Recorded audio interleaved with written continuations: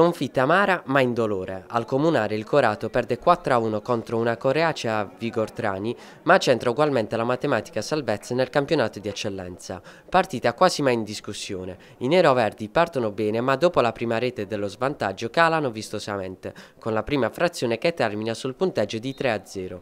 Nella ripresa, complice il rigore sbagliato da Schirone e il quarto gol della Vigor, il Corato molla anche mentalmente il match, riuscendo a trovare nel recupero il gol della bandiera bianca.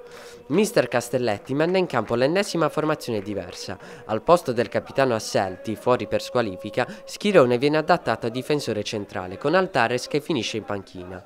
Mister Scaringella, ex della partita, schiera un 4-4-3, in avanti ci sono Negro e Monopoli sulle fasce, mentre la punta centrale è Musa. Al primo minuto il Corato si rende subito pericoloso, con Morra che si trova tu per tu con Petrarca. Preferisce passare la palla a Sguera, il quale viene anticipato dalla difesa. A metà della prima frazione, Della Penna riconquista la palla in area e anche lui, invece di calciare, sceglie il passaggio per Morra, che segna ma in posizione di fuorigioco. Verso la mezz'ora arriva il gol della Vigor. Negro in aria viene atterrato da Bonabitacola. Il direttore di gara fischia il penalty che viene trasformato dallo stesso giocatore. Palla da una parte e portiere dall'altra.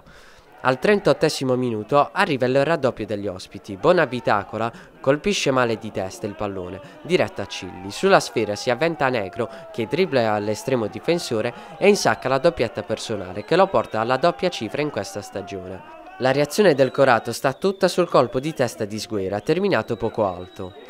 Nei minuti finali del primo tempo la Vigor Trani arrotonda il parziale. Monteduro passa la palla a Cili che non rinvia. Monopoli gli ruba la palla e mentre sta per calciare viene bloccato dallo stesso portiere. Il numero 11 riesce a passare la sfera a Musa che a porta vuota centra il bersaglio. Il primo tempo finisce con un sonoro 3-0 per i biancoazzurri. La ripresa si apre con un calcio di rigore al quinto minuto per il Corato, per il fallo di mano sul traversone di Piarulli. Dal dischetto si presenta Schirone, che calcia centrale. Petrarca respinge il tiro. Sulla ribattuta arriva D'Arcante che da due passi sbaglia un gol già fatto. Al quarto d'ora la Vigor cala il poker. Musa va via in velocità su Schirone, entra in area e spiazza Cili con un destro che viene solo toccato dal numero 1 Coratino. Al 29 minuto Sguera ci prova da calcio di punizione, grande respinta di Petranca. Sul pallone poi arriva Altares che svirgola.